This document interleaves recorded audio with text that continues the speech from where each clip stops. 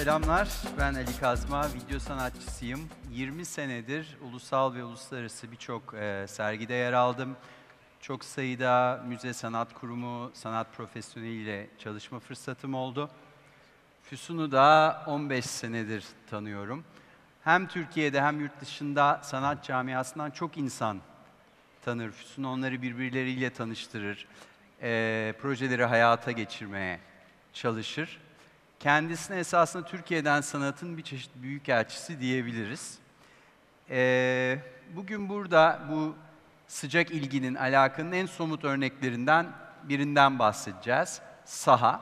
Saha biz sanatçıların son 6 senedir, 2011'den beri varlığını hissettiğimiz, desteğini hissettiğimiz bir kurum. Daha fazla uzatmadan soracağım Füsun, zamana karşı gidiyoruz. Saha nedir? Ee, nasıl bir fikirle başladı? E, kişisel bir hikayeyle başladı birçoğunda olduğu gibi. Ben akademide okudum mimarlığı. Akademinin tek yetenekle alınmayan bölümü mimarlıktı. Yani biz yeteneksizler, siz Aman. yeteneklilerle birlikte aynı çatı altındaydık. O günler ilk sanata ilgim başladı. Daha sonra sanatsever oldum, koleksiyoner oldum. Ee, ilgim gittikçe derinleşti, öğrenmek istedim. Ee, seyahatlere gittikçe müzeler, sergileri tabii ki ziyaret ediyorum. Ama zaman geçtikçe bir şey e, kızgınlıkla dikkatimi çekmeye başladı. Neden o oralarda Türkiye'den sanatçıları görmüyoruz? Neden ki biz bu coğrafyadan sanatçıları hani 40 yılda bir gördüğümüzde de sevinç çığlıkları atıyoruz neredeyse. Ee, müzelere girdim, müzelerin komitelerine girdim. Oralarda Türkiye'den sanatı tanıtmaya çalıştım. O zamanlar o konuda da çok ilerleyemedim. Sonra anladım ki bu işler böyle olmuyor. Biliyorsun kendi coğrafyandan eğer o sanatçıların oradaki varlığına destek yoksa bu çok mümkün değil. E, dünyada bu devlet destekli yapılıyor özellikle Avrupa'da. Bizde ise güncel sanata daha sıra gelmedi.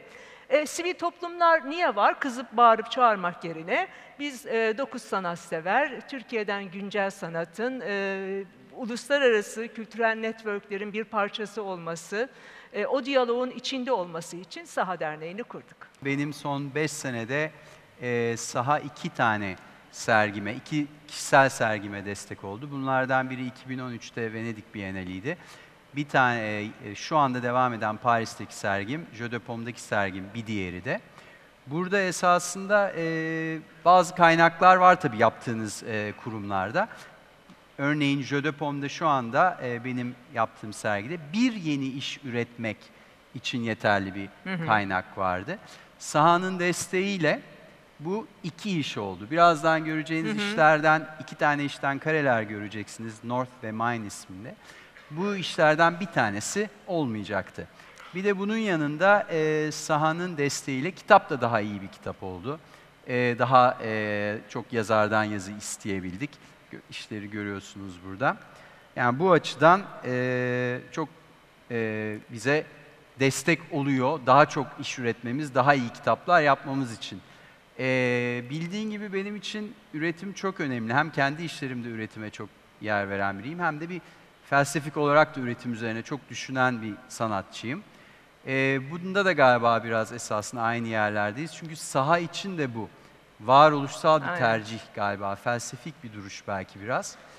E, çok şaşalı, tanınmış, e, işleri zaten bilinen sanatçıları getirip burada sergi yapmak yerine her zaman risk taşıyan e, yeni üretime Evet. destek veriyor saha. Neden?